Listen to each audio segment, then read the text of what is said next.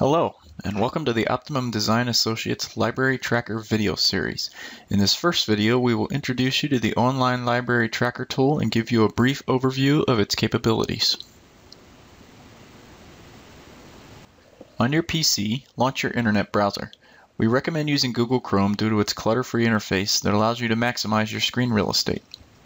Click in the address bar and type in https colon front slash front slash optimumlibrary.com and press enter. It may be a good idea to save this site as a bookmark for future reference. This is the login screen where you enter your email and password. Clicking submit will log you into the online tool. If this is your first time logging into the tool, click the new user link. On this page, enter your email address and click Submit, and you will receive an email with instructions on how to set up your password.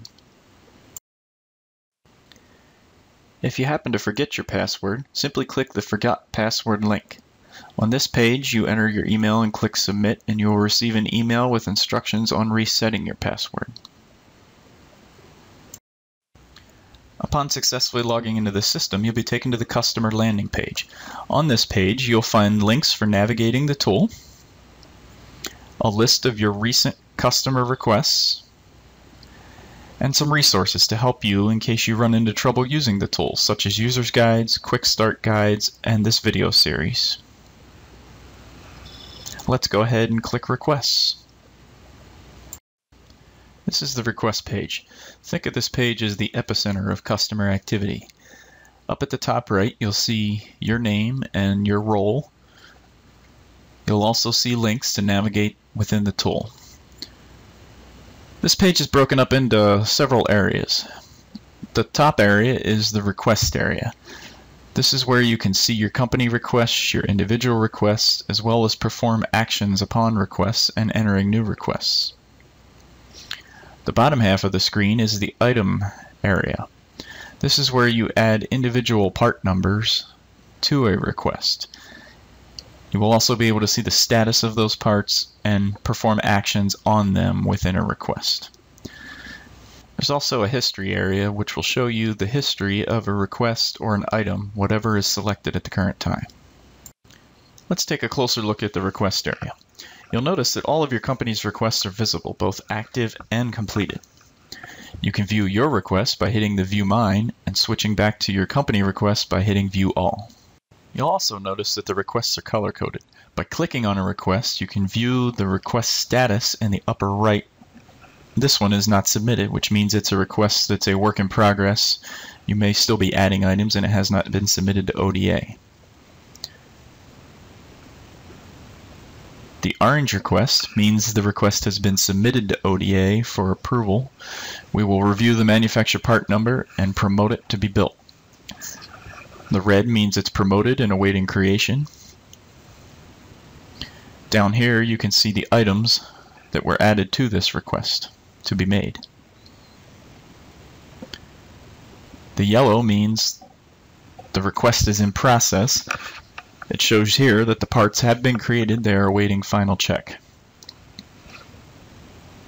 The blue shows that the request has been completed. You probably have the parts back in your possession, but the cells are not Valor verified yet, and they are being sent out for Valor verification. The green means the request has been completed and all components of the part, symbol, footprint, PDB, and DX Databook have been verified. Some of the other features available are the ability to add additional context. For example, if you're going on vacation or you want to keep another person in on the loop with this particular request, you can add their contact information to the request.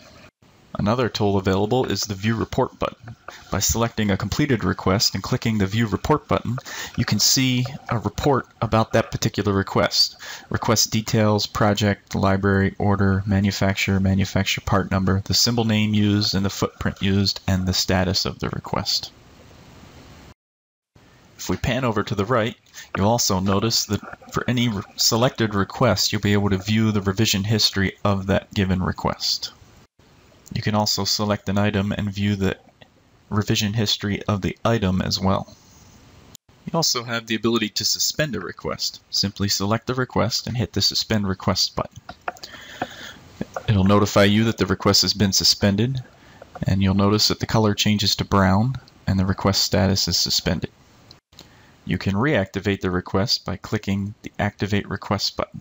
It'll notify you that it is being sent back to the library group for review, and the status also changes to resubmitted.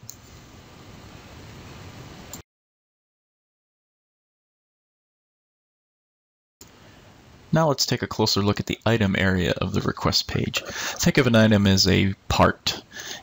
Any request can have as little as one part or as many parts as required for any given request. The table shows order number, manufacturer, manufacturer part number, internal part number, miscellaneous ID, description, a data field where files may be attached to any given item, an upload button where you can upload your own attachments, a expedited checkbox, a notes area, and checkboxes for symbol, footprint, PDB, database, revision, and due date.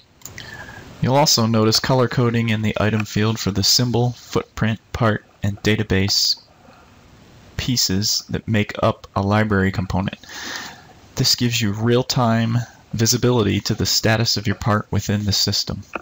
The item status determine the request status. In this case, created awaiting check. In this example, you'll notice that the footprint is a different color than the other parts of the component. By clicking on the item, you'll see the detailed item status, symbol is completed, part is completed, database is completed, but footprint is sent for valor check. Therefore, the request status is going to be the lowest common denominator of those combined statuses and show sent for valor check. In this request, the symbol, footprint, part, and database are created, but they have not been checked and verified, so the request status is created awaiting check. In this request, all of them are green. Therefore, symbol, footprint, part, and database are all completed, so the request is completed as well. You'll also notice some action buttons along the bottom of the screen similar to the request action buttons. You can suspend an item, move an item up in order, move an item down in order, clear the fields of the entry area, and clone an item. We'll go over that in more detail in the request creation video. On the order page, you'll have visibility to your company's purchase orders for Optimum Design Associates library work. You'll be able to see the PO number, the date purchased, the amount of the PO, the rate, and how many hours were purchased. As we are creating parts, checking parts, and doing Valor verification, we're entering our time into this tool and it is deducting it from your total hours purchased so you have real-time visibility of how much time is left in your PO. We also have the ability to send automated emails when a PO reaches a certain percent to let you know that that PO is about to expire.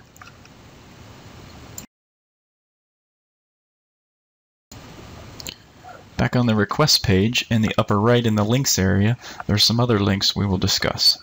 Clicking the help link will launch an interactive, fully navigable, and clickable PDF. All you have to do is click on a hyperlink and it will take you to that portion of the document. Clicking top takes you back to the table of contents. Also in this guide are email addresses and telephone numbers to the technical support staff that support the Library Tracker tool in case you run into issues that aren't covered in this guide. The last link to cover is the logout link. When you're done entering your requests and your items, simply click the logout link. It will exit you from the system and take you back to the login screen. Thank you for watching and please be sure to check out our other videos that give you step-by-step -step instructions on performing common tasks within the tool.